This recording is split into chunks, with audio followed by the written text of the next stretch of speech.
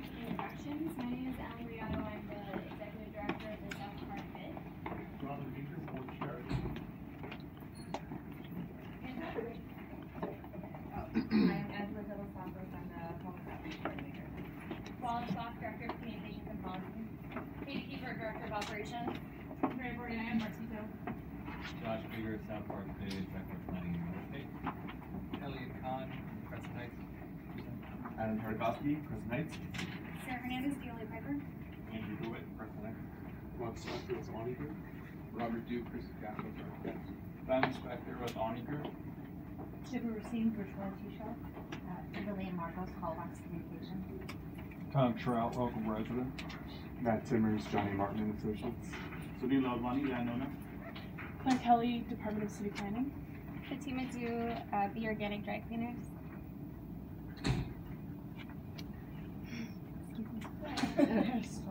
Ann Hawthorne, Ur- uh, Urban Foundation in Kid City. Uh, Jonathan Levy with NASA Services. Krista Ray with NASA Services. Uh, Paul Keller, Mass Real Estate Group. Liz Ivan was able to do wires. Fanning Henry, Department of Secretary of Board. Daniel Cavallo with Dave Mitchell. Chris Lewis, uh, board. Karen Tony, Sally Ottersville, and Coalition Board. Nathan Ham, member of the board, YMCA. And then for the folks in the back that just walked in, do you want to say hi? I'm Patrick Castor, board member. I'm Kirk Connect, city attorney. Laura Wang, owner, Luma, and uh, liaison for my HOA. And last but not least. Uh, Victor, manager for the cleaning, clean and green team of South Park, and Raul is here. Here, Raul, program manager for safety. Okay, we've got a packed house, guys. We have one seat up here. Are there any other seats over there? One over there. Two over here. Two? Okay. So grab it, grab a chair and make yourself comfortable. And I'm sorry for This one, the, sorry. uh, the orders. Okay, we are going to jump right in. Um, first item on the agenda. Oh, sorry, public comments. I know we have a couple. Anne? Yes. Hi, everybody. Good morning. I'm Ann. I'm from the Urban Foundation and First United Methodist Church of Los Angeles. We run a program in South Park called Kid City for first generation college students. And our annual event is on May 12th, so I wanted to call and uh, just come and invite everybody. We would love to have you attend. That we're going to be in the Petroleum Building. It's been the space has been donated by the Shamus Group, and our program is actually located in 1010 Developments building right up right around the corner. So this is a program, a leadership and development college access program for first generation and low income college students. We've had many students from the neighborhood. We would love for you to come by. And so I've left these right right there um, on the cabinet. If anyone wants to pick one up, you can call me and we'd love to have you come. And we're still looking for sponsors. So thank you all very much. So handouts will be here next to the Keurig machine. Any other public comments or announcements? All right, we have a technical troubleshooting issue, so don't mind them. Uh, item number three, we're going to review and approve the minutes from our last board meeting, February twenty-second. Are there any comments from board members? Do I have a motion to approve? Second. All those in favor? Aye. Any oppositions, abstentions, so moved? Alright, so, presentation time. Well, we're gonna move forward with beyond presentations until we get this straightened out. Um, so we're gonna jump ahead to agenda item number eight. Bob has a mouthful of muffin and is ready to give an update. It was our not an budget. easy drive from Pasadena.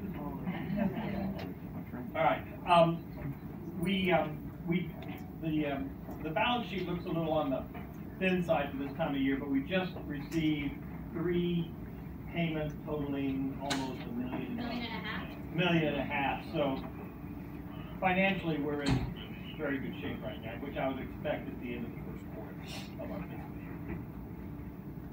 That's it. No surprises. So our, um, the, the way that our accounting and finances work is that our, we don't know exactly when our checks are gonna come in the mail, which is why some months you see no deposits made, and then other months see, you know, one, one and a half million dollars. So if you have specific questions on, on tracking all of that funding, please let me know. I'm happy to have that conversation with you. Uh, all right, secretary update, Channing, I know we connected, but if you wanna go ahead. No updates. No updates from the secretary side. Still working this out?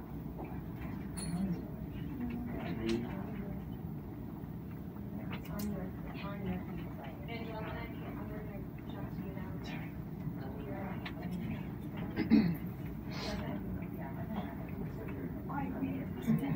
Okay, so we'll keep this together, guys. I'm sorry. Uh, I'm gonna go ahead and jump to item number 10, staffing update. I'm really excited. We've just contracted uh, with Angela De Los Santos. She introduced herself. Some of you have met her on our walk with the captain last week. Um, and I've invited her to just speak to you all this morning and tell you what she is doing for us, uh, what her progress is, and sort of her, her game plan for working in the district. So I'm gonna turn it over to you, Angela. So hi, good morning. I'm sorry about just walking in hills, I've been in sneakers. so I gotta get to practice. Okay, so I'm just passing out a little snapshot of what my role is here. And, um, really my role is to, uh, build a network of service providers, um, to help to connect the people that are on the streets to, um, services. So, um, right now, I'm, I do that by attending the service planning area for the software community engagement meetings, housing navigation meetings, um, any alliances or, uh, collaboratives that are happening, um, informational sessions and things like that.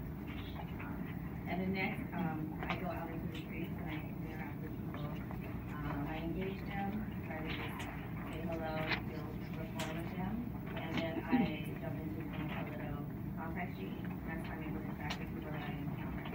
Um, on this, on this, there's a little tiny, um, picture of the contact sheet, that's what it looks like. Uh, it has new and it has, um, returning people that I've been. That's just so that I try to identify people that I encounter. Um, after that, if there is a need for further assessment, which in the case that I'm required is, I will do a coordinated entry system.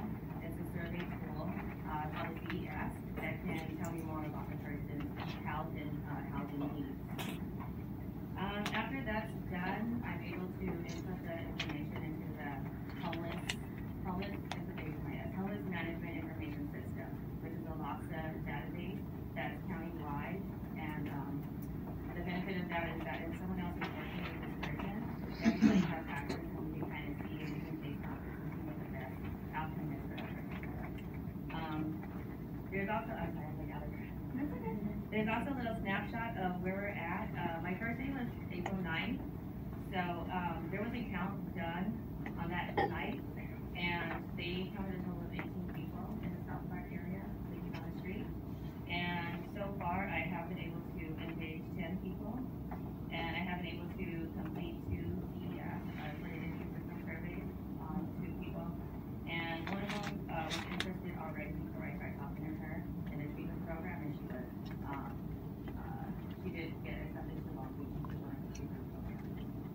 Uh, and then other that, my, most of my encounters are just giving them some water, so they can stay hydrated, and, um, just building rapport. Do do you feel that nineteen is a approximately correct number for what we see in South Park for homeless?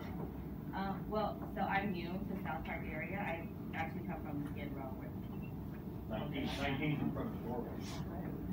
Yeah, so, um, well, this is during the evenings. I think some of the people that pass through, maybe pass through, I mean, it might be an easy way for them to, I haven't seen people that say, no, I wait for the bus, um, to pick me up, they go to the shelter, but they can't go here because it's, um, dead at night.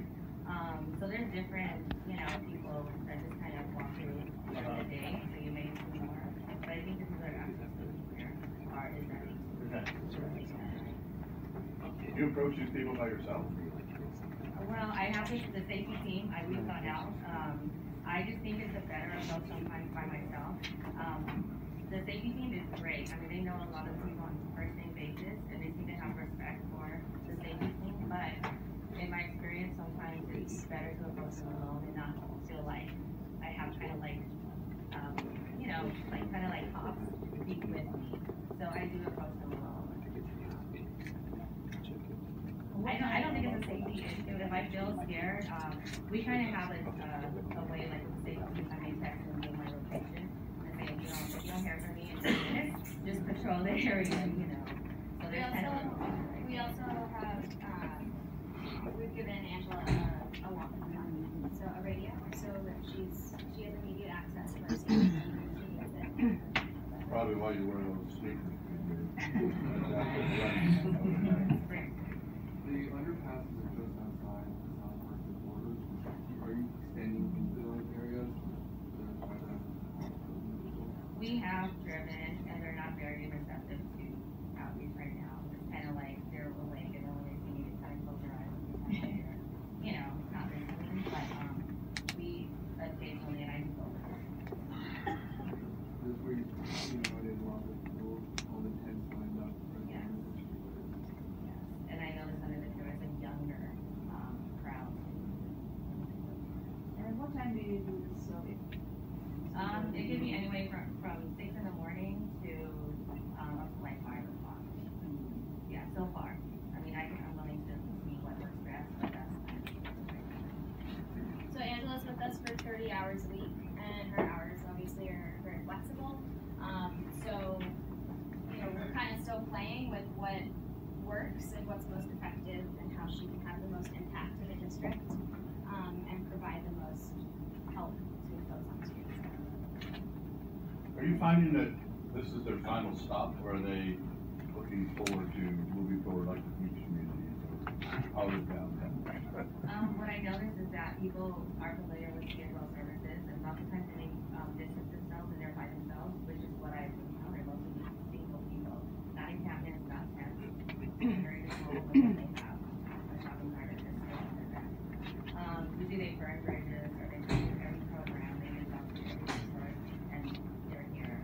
Um, some of them are, I met someone that's been here for like twenty-five years, he's, um, he feels like there's no services, but there's actually something that I just looked into recently, and he actually made me just his social media first, like, he had some kind of social, I don't know if he worked here at one point, but he gave me all that information, so there's things like that that are like very, um, someone doesn't have an ID, they don't remember their ID number, it's been so many years, they're from Freeport, Louisiana, so it's like, just kinda, you know, working with the city attorney's office, I know our people in the office, we're just trying to, if they had a ticket before, make that have a number, and we can get that person ID, and get to a second stage, interim housing, and then ultimately permanent housing.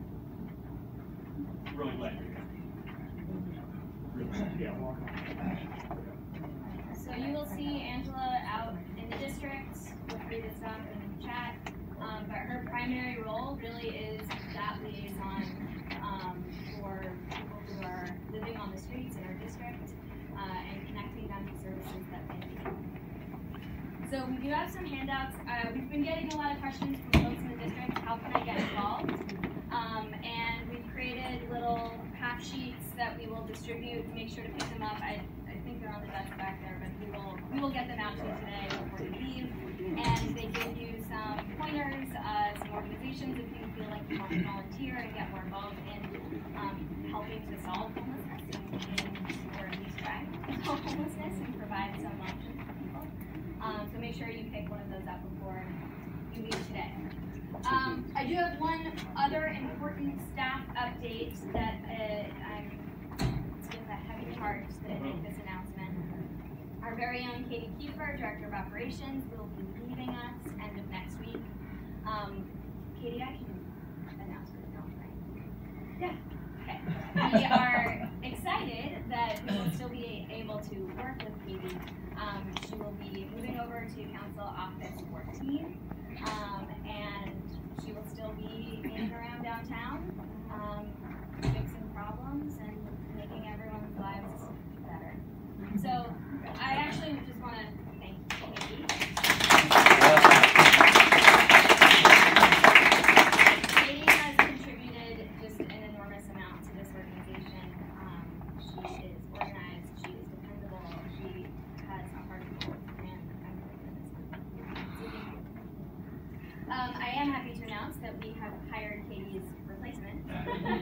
um, because, you know, show must go on.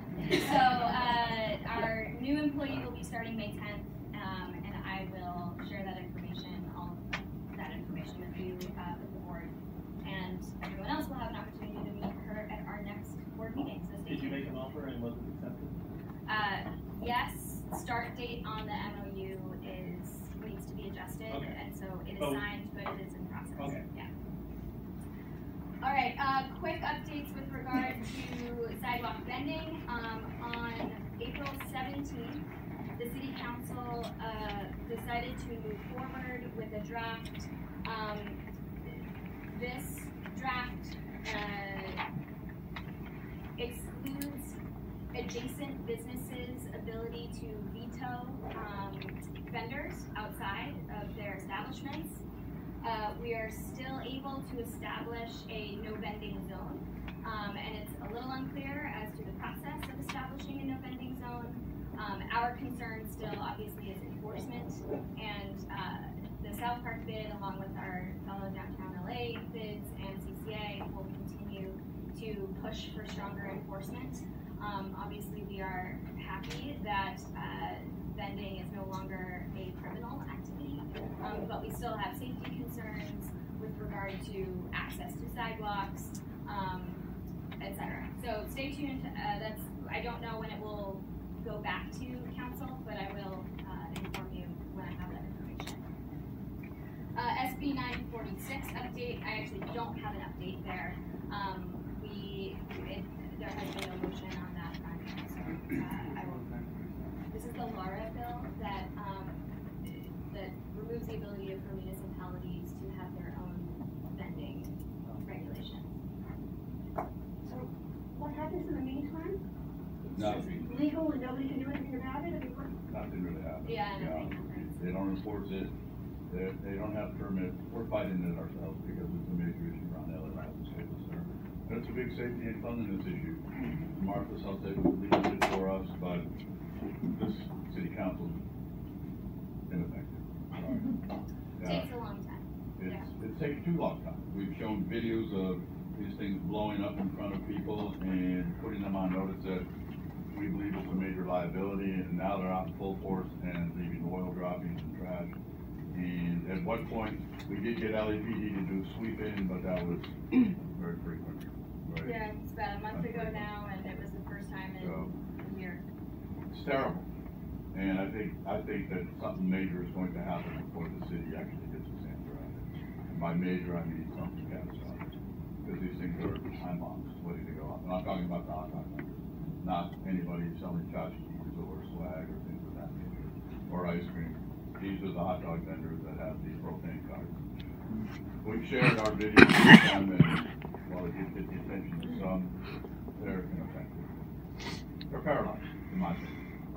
Well, and and honestly, from an event standpoint, I had to pay ten thousand dollars in police staffing last year to get them from encroaching, they just encroach the entrances and it's possible for the guests to come in. And we had somebody with a taser, like tasing people that weren't buying hot dogs. So That guy got arrested, but, um, yeah, so it's, I mean, I understand out of sight, out of mind, but it's really tough on the. Two things, permit them and enforce it, that's all. Yeah. And the city council, they can't do it. They're in, they're ineffective, in my opinion. We from traffic control, because they block the sidewalks across the street. Sidewalks and fire exits as well, it's, it's a concern for flow of traffic in the event of emergency, um, public health, obviously. So, yes, we, the downtown coalition as well as CCA is aware of all these issues and, you know, we're, we're putting pressure where we can. Um, but I agree with Lee, I think that council is pretty. You know, we've held off going to the press with our video, but I'm going to talk to Martha because every time she comes back from the council meeting where some action seems to be on a path to be taken, nothing's taken. And so it may be time to just put it out there. Yeah. So, Because somebody's gonna die. Somebody, we have a video of, of one of the, uh, hot dog carts, propane canister blowing up and catching the proprietor on fire and some other people almost on fire. We, there were also stories from, when we did the walk with the cop, and I can give uh, where they would, you know, try to break these in the trash can. We used to go away, then we would only take the hot dogs out of the trash can and throw it back in the fire and we sell. Sorry, I'm gonna, I, we could talk about this issue for the entire Sure meeting, and, and, uh, and I appreciate that the board is concerned about this. Staff understands that, and we are doing what we can to, to join the effort in getting the enforcement that is needed. So if there aren't any more questions, I'm gonna move on to the agenda. Okay, thank you. Um, all right, so, looks like we got this straightened away. Way to go, team. Takes a village. Um, let's invite Crescent Heights, uh, Elliot Kahn, up to give a presentation. I'm gonna turn it over to you, Elliot. Okay, go ahead. Yeah, perfect. Hi, everybody. I'm here to present on the 1045 Olive project in South Park, just a few blocks east of here. Uh, my name is Elliot Kahn. I'm the Director of Acquisitions and New Development for Crescent Heights here on the West Coast. And uh, just a little background on Crescent Heights. We're a, a national development firm uh, started over 30 years ago right here in Los Angeles. Just to sample some of our projects in Chicago that's under construction right now, Seattle, Atlanta, uh, and South Florida focus mainly on multifamily development and mixed-use development here in the United States and in London. Um, we also have a, a track record of historic preservation, uh, particularly this project here in West Hollywood, the Granville developed, one of the first projects we did here in Los Angeles, the Crescent Heights. Um, uh, just a sample of California projects. This is our latest project in Los Angeles. It's called 10,000 Santa Monica at the edge of Beverly Hills and Century City. That they did about a year ago. The rest are Bay Area projects and some of the Wilshire Corridor in San Diego. So when when we look at downtown, you know, we all know what's happening. We all know that the burgeoning uh, growth, um, and on the residential side, I think, hoping commercial will follow. Um, but we thought, you know, as you're going to see today, we're not the only tower that's going pretty big. Uh, we don't think this is a, an attempt just to cattle car people and to stack people on top of each other. We believe this is a model for the future growth of Los Angeles, where density needs to be around jobs, needs to be around transit, in a way to really uh, push Los Angeles into the future, no longer sprawl the way we have been for the last half a century or more. So to do this, to really build something that has scale and is, creates a pedestrian and a street level experience, while also pushing forward tower design and a super tall tower at that, we turned to the Office of Design and Architecture out of New York City. Uh, these guys are, are huge stars in the architectural world, in our opinion, and they are right on the cusp of blowing up and have beat out every major firm for huge competitions all over America and Europe. So this is just a sample project that's under construction in, uh, in Brooklyn, which is an attempt to use create corner units out of every unit, because we all want corner units, and it's, it's just a way of modulating the, the simple tower extrusion that we're all very used to, especially in Los Angeles.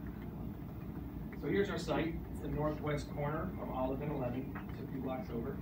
And as we know, this is kind of the residential hub, I guess, of downtown the South Park. Um, and we to acknowledge sort of this uh, importance of the urban connectivity, right, of the entertainment and commercial and residential. Uh, we, we try to encourage, or we, try to reflect what the city initiatives, urban initiatives, and the design guidelines uh, uh, are expecting of towers in this neighborhood, and then try to push that forward. So we know this is a neighborhood that is uh, highly walkable, has a lot of transit opportunities. The streetcar will go hopefully down the road at some point, um, and it has connectivity to Figueroa and a lot of the Staples. So um, it's a neighborhood that really is is ripe for a, a transit-oriented development that can be walkable, sustainable, uh, and all the that buzzwords that we're used to. So just little on transit. One thing that we do in all of our projects, in our urban projects, uh, is uh, we try to use technology as much as possible to integrate and create a better transit-friendly environment. Uh, so it's ride share, car share, uh, bike share, uh, all integrated into our app, which is what we use in every project uh, for all. of these. Furthermore, we have we even offer these little scoots in our San Francisco project, which are little electric vehicles to get around town that you can just book at any time. Uh, transit screen, which tells you in real time where the various transit options are around you. That. So we all know the neighborhood is moving. We have access the blue line, a lot of bus lines, and potential streetcars. So uh, an overview, the tower will be about seventy stories, almost eight hundred units and twelve and a half thousand square feet of retail.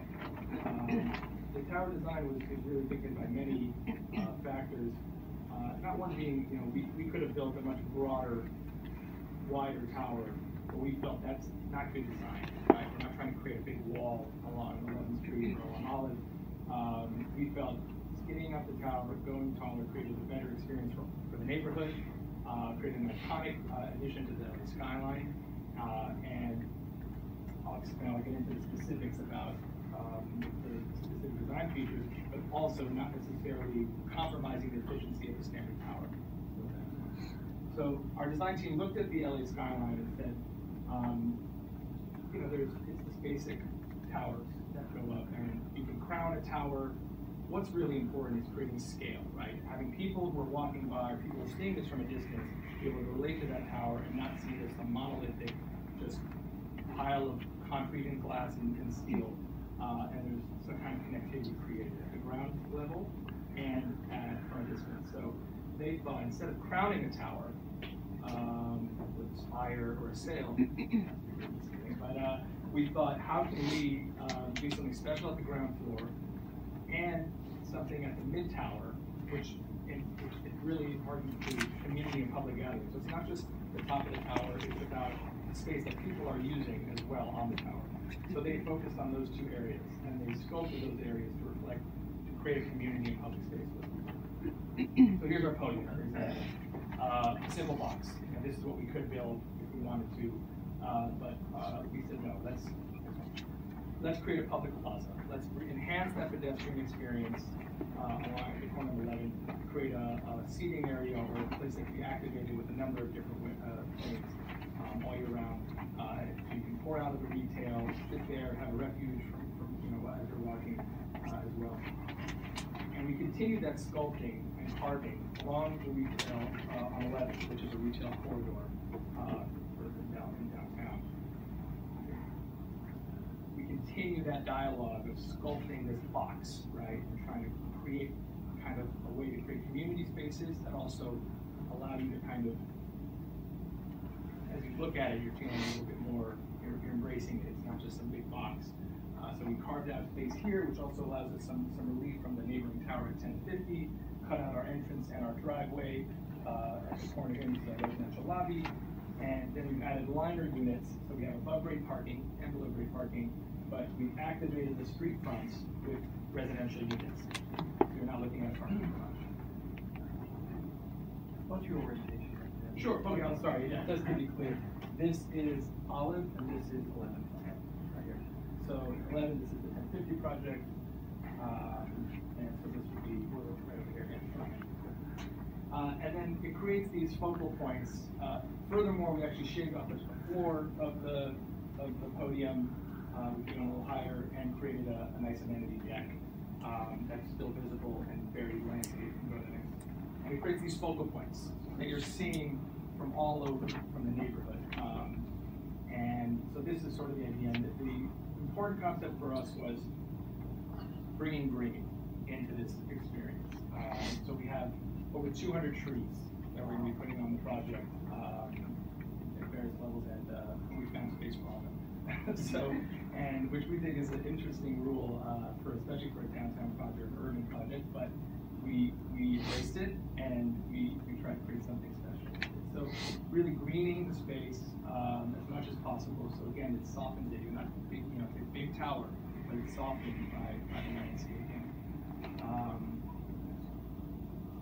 and the point here is to really create uh, the retail we have in mind is sort of a, you know, obviously everyone look through Grand Central Market or a food hall uh, that then can pour out into the public plaza and then there's this sort of connectivity of the mirrored sculpting each corner, uh, cutout, uh, cutouts at the base, and then there's also mirrored cutouts in the amenities uh, at the top, which I'll talk about. So that's really our concept, do some kind of uh, market mall uh, in the retail. So be destination retail, if you want come to a place that really enhance the community uh, as much as possible, um, uh, which I think something that the area really needs, maybe quick and casual uh, type of uh, food outlet, maybe sometimes a small grocer as well. But we think that's important to, the street as well. And here's uh, kind of never, just never released, uh, so where this kind of hasn't been released the public. And,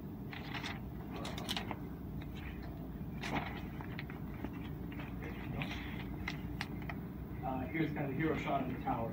Um, again, seven hundred feet with a rooftop deck as well, and then we'll talk a little bit about these, these cutouts. The, the second important factor we thought was, okay, um, you have to make a tower efficient, you have to make it functional. But we could create something really special, uh, at the midpoint, the, the architects call it the eyes to the city, where it's visible from all over, and they're gathering spaces, so they're not just, uh, architectural flourishes. They are iconic in a sense, but they also are warmed up because there are people using these spaces. There and having coffee, the pool will be up there, uh, I think see on the next slide. And as, much as the, just go back for a moment, as much as, you know, neighboring a little low scale, as you see, I these are the projects that are, you know, Oceanwide behind us, some of the other projects going on, and we believe there's a few others. I the Onni project will be in this image as well, and then a few other projects, um, in the neighboring vicinity. This is becoming a, a very, um, active area as well what we believe downtown needs, for dense, transit-oriented, uh, urban development. So here's a shot of our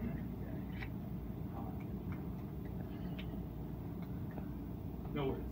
Thank you. So, um, one thing we're really excited about, um, is we are, the first project in downtown to seek the environmental, the environmental leadership development project status. We are, right now, working with the governor's office. Have been certified, um, with the governor's office. And what that basically means is, uh, we will be net zero in greenhouse gas emissions. So whatever is existing today as far as emissions on the single-story warehouses that exist today, we will not create more PhDs than are currently existing. So that's something we're really proud of, uh, we're doing in our project in San Francisco as well. Uh, so it's something we're familiar with and we're, uh, excited to introduce here in Los Angeles. Uh, the project will also be union labor, um, LEED gold, and, uh, there's an extensive investment, has to be a large-scale project. This is- So, talk a little bit about community benefits. Uh, this is a TFAR project, we'll be purchasing TFAR from the city, but that comes a a robust community benefit, uh, and public benefit pro, uh, package, uh, which will be several millions of dollars beyond the park fees that we pay the unit already. Uh, we're the council office, uh, and the local stakeholders to really find a way to, to channel these funds to do things that the community really wants. Uh, I think, you know, green space, parks would be something that people are really echoing, I know that actually folks are, are coming to the call and then creating something in our neighborhood, so we thank, them- for that. Uh, we know it's important, uh, space for people with dogs, uh, you know, we don't need them you know, in the street, uh, there's a lot of dogs in the neighborhood. We really wanna be proactive in finding ways to, use this money effectively, for affordable housing programs, um, uh, public art, streetscape improvements.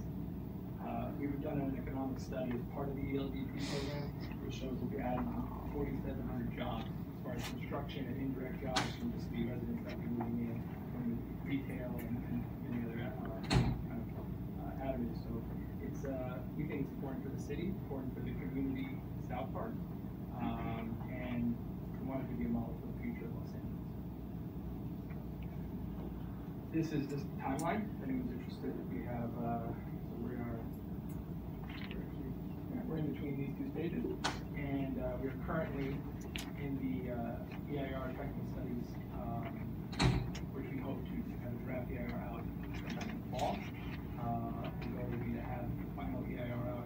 probably the beginning of next year, and have our place uh, next year. Um, so, So get all your entitlements sometime in mid two nineteen. When, assuming everything goes great, which of course never does, um, what would be your most optimistic, uh, time to break ground? so probably start in twenty twenty. And then four years? It, it's probably a little less, probably less than five, three-year range. Have you published the notice of transition? Yes, so we, uh, as far as EIR goes, we had our NOP, um, in January of this year. Um, and we invited the community in, at the property. And we, um, also met with the, the residents of the neighboring tower at ten fifty, kind of gave them the first look at what we were planning. And now we're,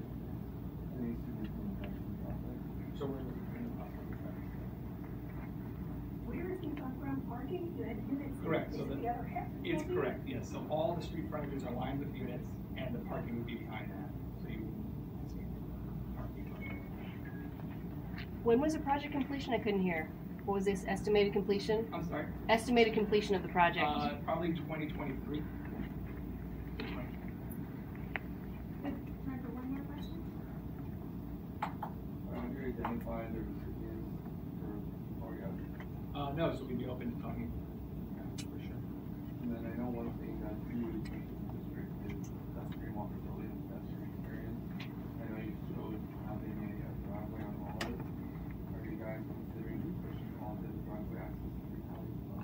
So we would love to, the, the alley is, is very active, um, because the ten fifty folks also use that as their main access point. So what we've done is we, there are currently, I think, two or three curb cuts on our property, so we, we limited it to one on Olive, which we, we studied that we really require for, to maintain that. And we're gonna push everybody to use the alley, but we need that, and it actually has, um, connectivity to the alley as well. Is to be able to go through the, through Olive, through, uh, the driveway, and, uh, and through the alley as well. Um, we're, we're, we're looking at it, but I think it would be difficult, uh, to, we are limited. Thanks so much, Elliot. Okay. Really appreciate it. I want to commend Ellen and Josh and the bid, uh, and thank you guys for having us, and keep up the good work, and I'm excited to see what you do with the bid expands and all the good work we have to between the sample bus. That's very, very nice. Thank you, guys. Thank you. Okay, we gotta move right along here. I, Um, I know I should know this, but how, how many people currently reside in South Bend? over eight thousand. Eight thousand? And in downtown Los Angeles? In downtown, it's like seventy thousand. Seven thousand downtown, about eight thousand. Yeah. Okay. Uh, next up, we have a presentation from Onni. And here to give the presentation is Robert Luke, Ben, and Mark Spencer.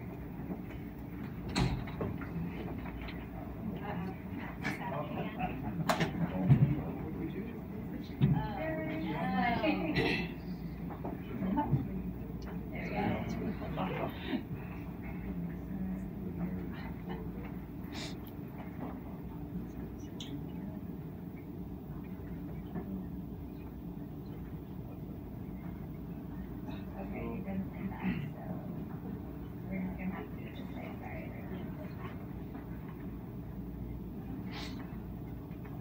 Sorry, guys. Okay, I know we're short on time, so I'll just give you a quick, quick introduction. I'm Mark Spector, uh, thanks for having us this morning, I'm VP of Development. Uh, This is Ben Spector, Development Manager, I'm gonna do kind of a quick overview of some of the projects we have in LA. And Robert Hughes from Acros Architects, will walk through the project. Uh, good morning, guys. Uh, Onni Group's a family-owned company. We have 40-plus years in real estate development experience.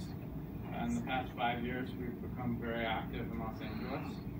Uh, some notable projects we have, uh, we finished level furnished living on 9th and Olive Street, and uh, it's been a huge success for us so far. It's uh, extended stay furnished units. Uh, currently, we have 825 South Hill Street, which is a 52-story tower. Um, we just topped out with concrete last week. Um, and we also have Hope and Flower down the street, which is uh, currently on the 12th and 17th stories. Um, and we also have the LA Times campus uh, in the pipeline, which is about a million uh, square feet of development as well. So this is our Olympic and Hill project. Uh, it's a 60-story tower with 700 units, and I'll pass it off to Robert. So here's our site at the corner of, currently a parking lot at the corner of Full Street Boulevard and Blackstone Court here. We're surrounded by a single-story commercial, or two-story commercial, and a theater to the south. Um, we're,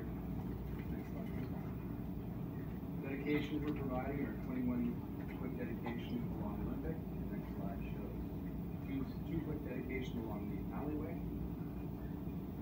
Here's a perspective, evening perspective view from the south. 60-story tower proposal, four-story podium, ground level retail, and there is one access parking off Hill Street along here. And there's on level five along here is indoor and outdoor uh, residential amenities. With this is our uh, zoning map. We are R5 4D, so we're in high density residential area. Transfer of 354,000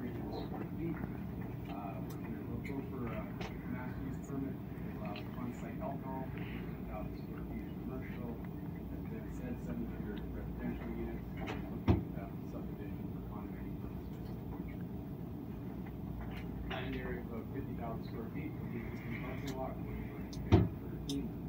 Total density, total site area is six hundred and fifty, over six hundred and fifty thousand square feet, with, of which fifteen thousand will be retail. Uh, uh, ground oriented retail, no closed parking, and along the retail, along Olympic Hill will be a public realm, which is and accentuated by the retail to encourage a really strong pedestrian realm, a safe, really well and places for children. Walking dog. Uh, it's, uh, over a thousand, over a thousand parking spots provided. Um, we have, uh, low-grade parking, which is a typical Florence, low, lowest level parking. The tower core coming up all the way to the top of the tower, and then the parking also spirals all the way around and down. Ground floor plan showing the context of uh, Olympic Hill, Blackstone Court, fifteen story, Lion, thirteen story. Retail, fifteen thousand retail, wrapping all the way around the frontage. So one out, so this is Olympic, yes, we've located our lobby off of Olympic. Um, and then what we've tried to do is right off the alley, so we've had a lot of meetings with neighbors nearby, um, and a lot of them are, uh, clothing manufacturers, mine feeders here. So they have loading, uh, anywhere from five minutes, kind of blocking the alley to an hour.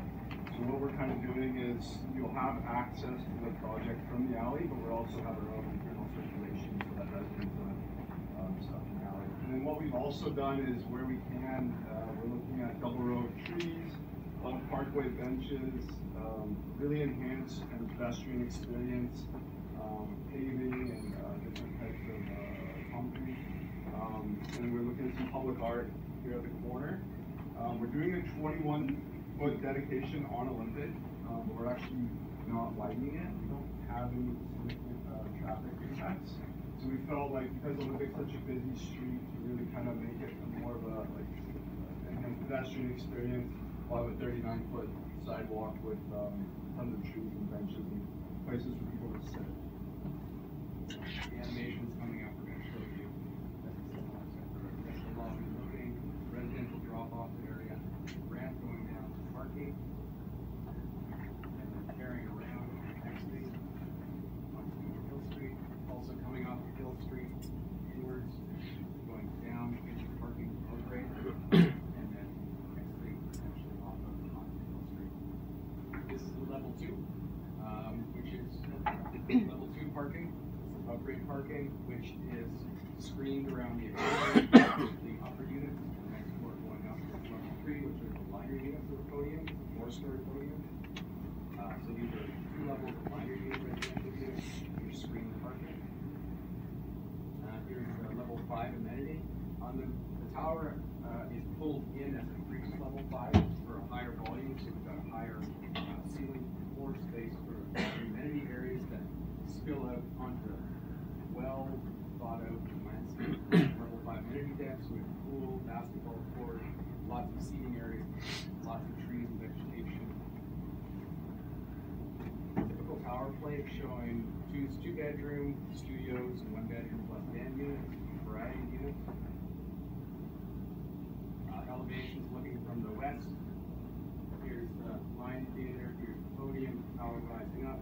From the south, line theater blocking the tower rising up. Uh, elevation, which is the court, the uh, Blackstone Court, um, screen uh, parking, and the uh, enhanced alley and uh, Porte Cochere entrance. North elevation shows the Porte Cochere entrance as the residential entry into the tower. Here's a, a large west view. We submitted this for entitlements just over a year ago, or June, just under a year ago. At that time, we were proposing a podium that was 20 feet higher, so we dropped the podium down by 20 feet, so it's more context with the Mayan theater and more context with the, um, the pedestrian realm that we're trying to create. In this elevation, sure, in this elevation, so we've got, these are the residential units wrapping around the podium, which are the liner units. This is the continuous retail all the way downhill, tower rising up, and this is where the tower pulls back and has a, a double height space to allow for uh, continuity of in, indoor, outdoor amenity and encourage people to go outside and have lots of sunlight. It's a very active space.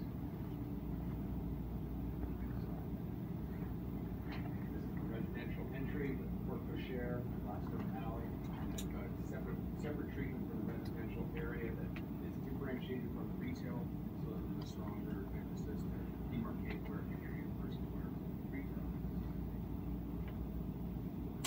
This is along the alleyway. We have, that's the alleyway by, by the green screen wall. Alley, then we've got our Porte Cochere drop off in this location, cars drive around, going to hill through the project, between which we have these green walls that create soft vegetated buffer, and uh, they'll be uplit, so it's gonna actually enhance the whole alleyway experience, and it's gonna be, by virtue of extension of project, the alley treatment is going to be also enhanced. Here's our corner view, um, as Mark was saying, we've got a pub- public plaza with sculpture on the corner, continuous retail wrapping all the way along the hill, and, uh, okay, um, podium, the tower expression, the tower as it, as it pulls back uh, the amenity deck to give an enhanced amenity area, and also to try and uh, mitigate, uh, to differentiate the expression of the tower versus the expression of the po- of the podium. So the podium's got a stronger treatment of vertical mullions, which is more of a softer tone, kind of a bronzy, kind of woody feel, so it feels a little more tactile, a little, it's quite pedestrian friendly. And then the tower rises up from that. Um, the east, the, the south and the north view are very predominant views um, along the hill, so we try to enhance the tower expression by creating really interesting serrated balconies that offset as they go up the tower to emphasize um, the slenderness of the tower. All units also have balconies. It's very important to Onni and and their group living building purposes, every residential unit a balcony, a generous space balcony. So that becomes part of their open space, but it also becomes an exterior room. And so that's become a really important feature for all projects that we're working on. This is uh, the lion down here, and this is the podium as it extends towards the lion, which has that continuation of the podium expression. We have a really well, well enhanced public realm with potential for lots of great cafes, shops, and uh, a really great place for a very urban village, lending itself to the sort of sense of community, a place for people to want to come to, um, to go to the favorite shop and to service people who live in the building and to and service the people in the neighborhood.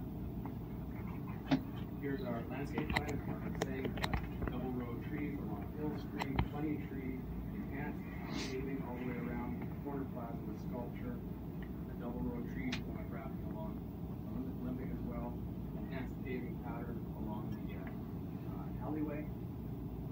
Next slide. Uh, shows the uh, landscape on the amenity level, which is um, basketball court, lots of gardens, lots of sitting areas, places for people to go and have privacy and uh, great experience. We've also on, on the tower, um, it's also broken so that, as we said, on the on the amenity, the tower pulls in. Can you go back to the slides on the tower? There was a, what happened to that? Yeah. Maybe go to the. Sorry for that. Going in reverse. Here we go. There we go. So yeah, so here's where the tower tucks in um, at the amenity level. We also have the tower tucking in for two two levels at levels 20 and 21 to also kind of um, give a sort of sense of proportion to the scale of the tower, so it's not tall and extruded, but it actually has a sort of uh, in-out space that is reflective of the amenity space that goes in. It becomes really nice uh, balcony space, read units. And then the tower top is also very important. That becomes a very animated space for residents and um, uh, really interesting. How the tower represents itself in the big city view is very important to everybody, so identifiable distance. So it'll be illuminated and it'll be recognizable from a long distance. With the serrated balconies that come up along the south and north elevation, they also have um, a series of um, lights that stagger on the balcony faces. So on every balcony, it kind of staggers its way upwards. And similarly on some of the balcony faces towards the west. So in the evening time, it's also very animated. It becomes very subtle kind of like, express the uniqueness of the tower. Do you have any questions? We're happy. Three, three short questions. Um, in regards to the alley, I think it's gonna be dedication to kind of like but when a bus you're building to the east, you guys any kind of choke point, have you guys considered widening the alley at point where a bus you're building? So that could be twenty feet consistent? Um, where the bus? If you go to kind of the alley, you can kind of see that. So right here, kind of where choke, yeah, it's choke right there. I'm pushing that in a little bit just to have twenty feet throughout. A year type of choke. Yeah, mine, mine's historic and then this is, uh, the office building. It, we haven't looked at that, um, we can look at it further. I mean, I would, just recommend that for the access through the alley, I think that would really push people who use it, to cars to the back of the otherwise. Yeah. Then you guys want to keep the building? Yeah, sure. And so much other question, have you, so we have to other topics, have you identified the key farmers yet? No, we just started out. Okay. And then have you considered pushing all the driveways to the alley and, and not having that curb cut on hill? Um, so, yeah, I mean, we looked at a number of circulation options. Um, but we actually need this, uh, access to really help with the traffic distribution. Um, so we're not pushing all the cars onto the to the street right. Um, but I think we have like five curb cuts right now, so we're eliminating quite a few just with that.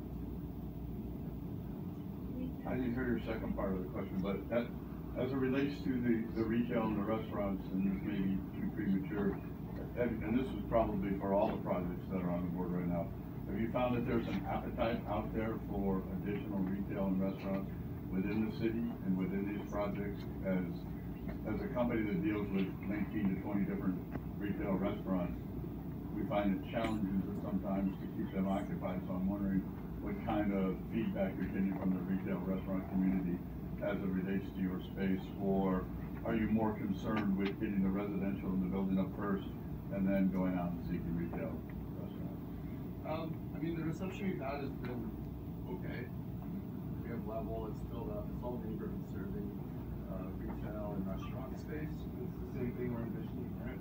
I think you have to put it in, because there's more and more units come downtown, or there's more and more demand for that type of retail restaurant space. And it's been, it's been okay with the right tenants. Do you more demand? Or do you think that we have quite a bit of demand in downtown right now that's underutilized? Has anybody done any of those studies? I mean, Because I can tell you from our standpoint, we do find that there are times when LA Live is underutilized. Yeah. Well, I mean, it's hard to say, there's, what, eight thousand units downtown in the next four years. So I mean, it's, looking out five, six, seven years, and we're long term holders, so look at this ten years down the road. To continue to make people either put townhome units or retail ground floor. You have to. Um, so we're optimistic, uh, that we'll have entitlements, um, beginning of next year. Uh, we have a three-year construction you start construction concurrently with the title. Yeah. So, wow.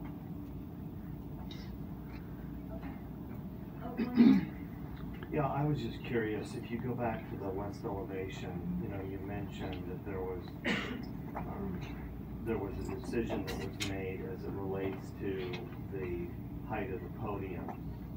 and you mentioned that you ultimately elected to reduce the height of the podium. And, and I see you're right adjacent to the Mayan Theater building, which is historic. I- I'm just curious, to what extent did you look at trying to honor that architecture and, and try to take that space and either not decrease the height of the podium, but pull the whole building farther north or add, um, you know, half a, yeah, that elevation right there. I mean, we're, we're sort of experiencing, we believe, a dangerous precedent in South Park with what just happened with Forest City. And now you're doing the same thing where you're building immediately adjacent to these old buildings that have been recognized as historic. Yeah. And um, I just wonder, you know, is there any way you could pull the building north, say the width of the aisle and whatever that distance is between the south side of the aisle and the PL and, and create, in essence, open space there? Um, you know, as you know, we, we gave up ten thousand square feet of our site for open space. And we were hoping people would follow our lead. Yeah. I, I guess maybe we were, you know, schmucks to do that. Community, community focus. No, I, I think that's, mean, a good question. We, we still isn't a- feel that it was smart. Yeah. And we still, if we had to do it all over again, we would do it again. Yeah. And it would be great to see a situation where you weren't cramming. uh, I mean, I compliment you on the tower placement, but I just, I wish, I wish somebody would think about perhaps staying a little farther away from, there aren't that many historic buildings in the whole district. Sure. That's a good question. So this isn't actually a really great exhibit because it doesn't really show where we're at now. But we, we had a six-story podium. We're down four levels. We're actually we're down six levels now. Uh, so we, we dropped it down to four levels for the draft units. Um, we, we looked at it. We looked at that, uh, and then we kind of looked at like the experience. Say we notched the side out, and you have a four-story structure next to. I think the Mayan is. Uh, seven, seven, seven stories, and so there's quite a bit of shading. So if you didn't step it back, it's like a. We, we looked at it more right here wrongly, like as trying to activate Olympic, kind of having a big like uh, pedestrian area on Olympic that has more daylight. So that's kind of the perspective. I think developing the LA Times campus, I think the term. I'm not a historian, but I think the term is like separate but new. So I mean they're not physically connected, and so if you distinctly kind of make the design of the podium look different from the lines, and tell the difference. No, no, no, no, I understand all that, but that's not my point. I mean, and we know you can't connect to the Mayan because of all the seismic dynamics and everything else. I'm just, I, I'm- I just wonder out loud if you would have been better off maintaining the height of the podium, not reducing it, but honoring the Mayan elevation and pulling the whole building north. Yeah, whole building. The whole building above grade. Yeah, I mean, we looked at it. Just a question. But, I mean, to answer your question, I mean, we looked at it and we chose to kind of put the, uh, public area on. Yeah, I mean, it's, it's really unfortunate. It's unfortunate what Forest City did with the Julia Morgan building, and now you're gonna do the same thing. You know, I, everyone has different. No, I know. perspective on it. It's a free I country. think, I think, yeah. I mean, I think this, this exhibit's not that great, like, actually, when we push the podium down, we have some other activities that show it. Uh, the street wall seems to fit a lot better. So that was, that was our perspective on it. I mean, it's a beautiful design. Okay, I gotta interject, I'm sorry. Do, we have two other presentations. Terry, did you have one last question? No, okay. Um, thank you all very much for for coming in and presenting. Thank you. Thanks, Appreciate it. thanks for your comments.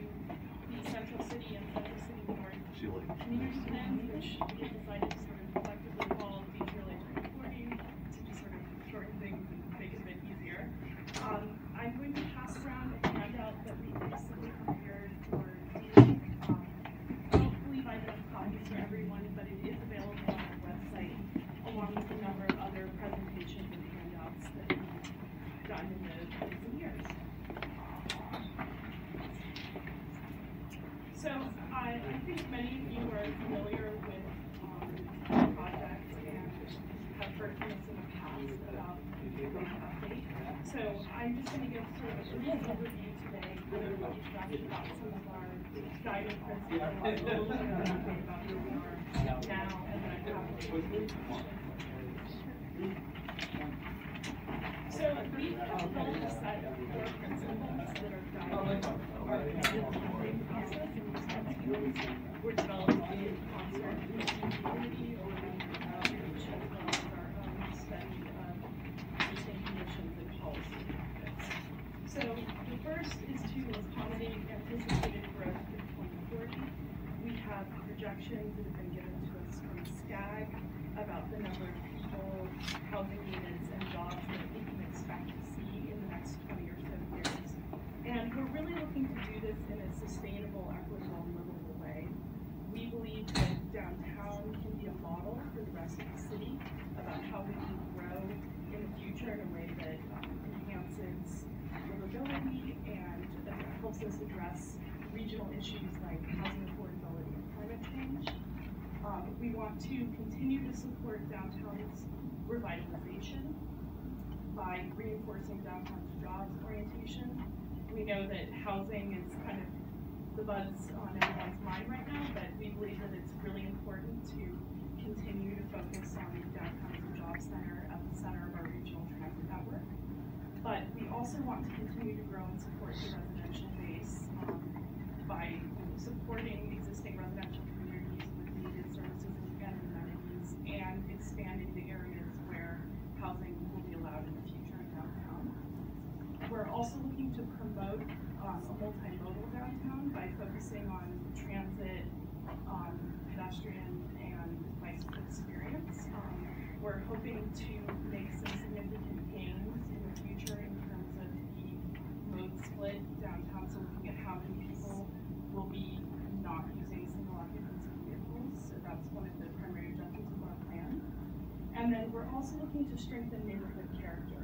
As downtown grows, we don't want to lose the things that make downtown really special and unique. And we believe that it's possible to grow our community while also continuing to celebrate and reinforce those unique historic and cultural aspects that really make downtown what it is. And we're also looking to improve linkages between districts. Um, we know that sometimes it can feel a little bit disjointed when you're trying to move between downtown's different neighborhoods. And we want to improve the connections both from downtown to the rest of the city and um, within downtown between all our neighborhoods. And then finally, creating a world-class public realm for um, our sort of urban dense experience to work in downtown. We know that we're going to need really great public spaces. We believe that uh, the streets can become downtown living and we're going to be focusing on creative ways to um, enhance livability for everyone downtown with the knowledge that we don't have a lot of large remaining parcels in our plan area that can create necessarily um, sort of the traditional park. So we'll be looking at um, other ways of creating enhanced streetscapes, improved alleys, things like that. So we're as we're updating this plan, we're looking at ways to raise expectations and plan will also be accompanied by a brand new zoning code that's being developed through the Recode LA process. And downtown will be one of the first community plan areas to utilize the new zoning code that are being developed. So we're really focusing on making sure that our code addresses the things that we feel are really important to creating a great downtown and maybe giving a little less focus to those to some of those regulatory barriers may actually run counter to some of our objectives. So just as a few examples, we will be removing the per unit open space requirement and instead we'll be moving towards a percent of lot area requirement. So basically every project would be required to do a certain percentage of their lot area as um, what we're calling outdoor amenity space, but it will no longer be a per unit requirement and we think that this will help to remove some of those barriers uh, projects. We'll also be removing parking minimums downtown, which we have heard and we know to be one of the biggest barriers to achieving the vision that we have for downtown as a more multimodal and dense community. Uh, there, we're not planning on introducing any parking maximums so it's really about removing the minimum and then introducing some design tools to help mitigate the effects of, um, parking podiums on buildings downtown. We know that that's a concern that we've been hearing a lot about recent projects. Um, It's a little cheesy, but we always say that we don't want to let parking drive design.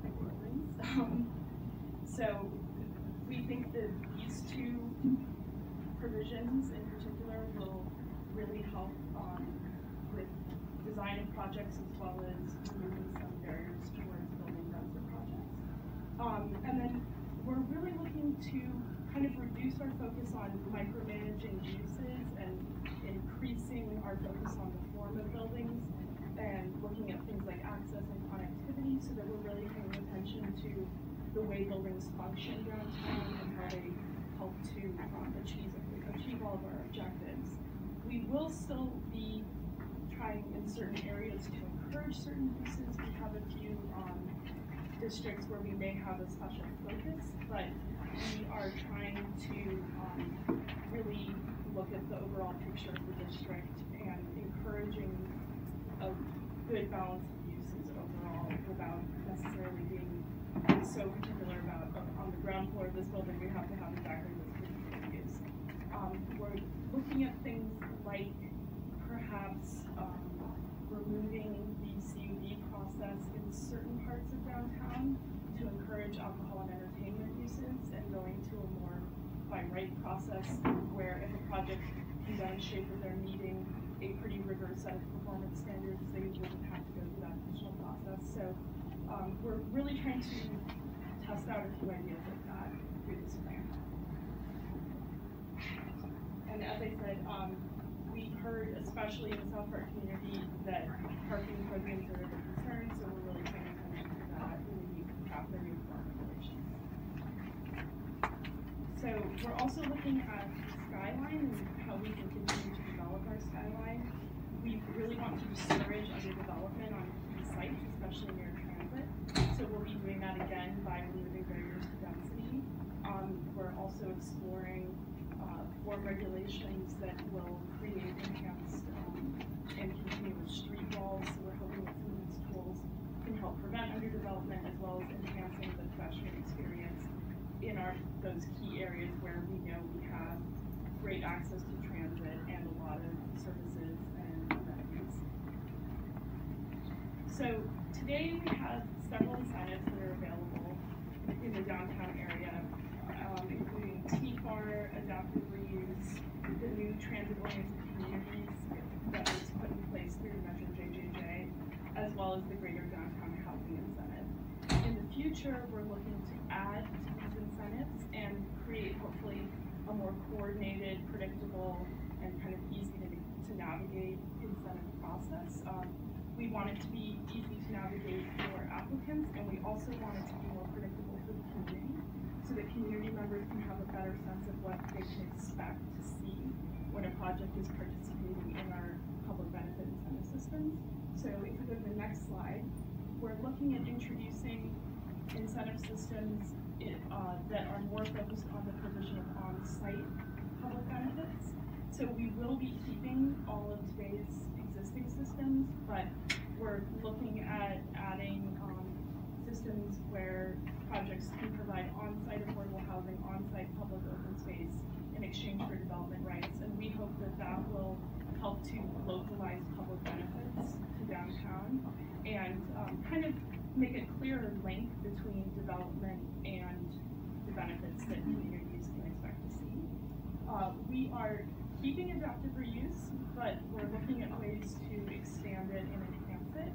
So we'll be expanding the area where adaptive reuse applies. We're hopefully removing um, the minimum unit size that is currently in our ordinance, and we're looking to make it easier to do rooftop and other additions that you know are respectful of the buildings and fit within the context, but add needed amenities like you know, restaurant and um, other tenant amenities. Oh, sure. So um, we're also looking at offering um, in lieu payments as a way to achieve additional development rights. So if you if a project can't fit public open space or affordable units on their project, they will be able to pay into um, a fund that will result in those benefits, again, localized to the downtown community. We think that's really important.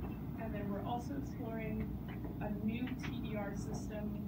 TFAR does not apply to all of downtown, so we're looking at ways for uh, designated historic buildings in the rest of downtown um, to participate in a system where they can sell some of their development rights in exchange for uh, preserving and enhancing those historic buildings.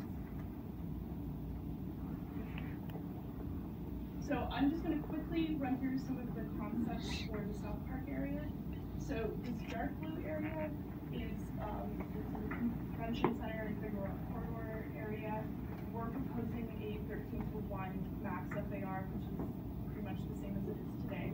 We're still working on our base by right FARs as part of our incentive system development, so we're not quite ready to share those yet.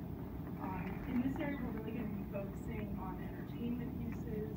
We want this to be a 24/7 active area, um, as well as focusing on ways to incentivize hotel and meeting spaces and a whole range of housing types.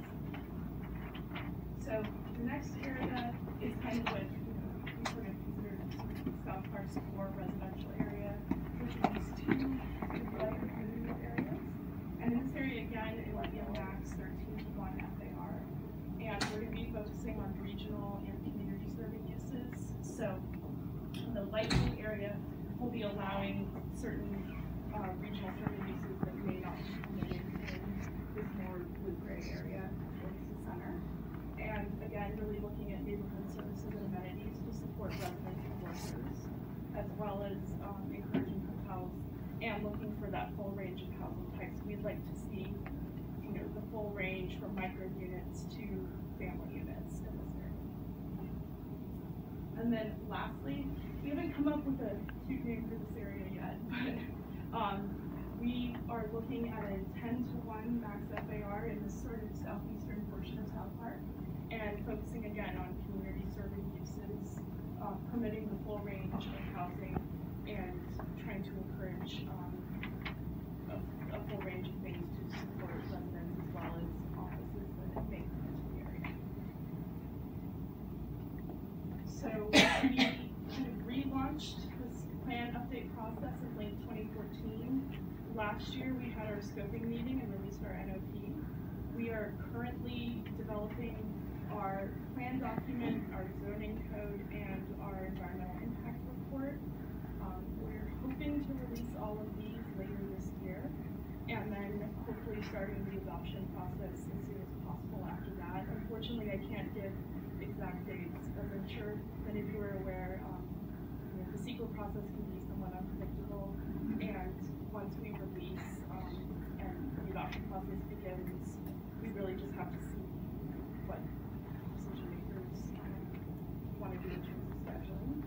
but we will be having a lot more public outreach this summer and fall. Once we release the documents, we'll have a public workshop and hearing, and we're planning on probably doing a 60-day comment period for our draft environmental impact report, and we'll also have a lot of opportunities to comment on the draft planning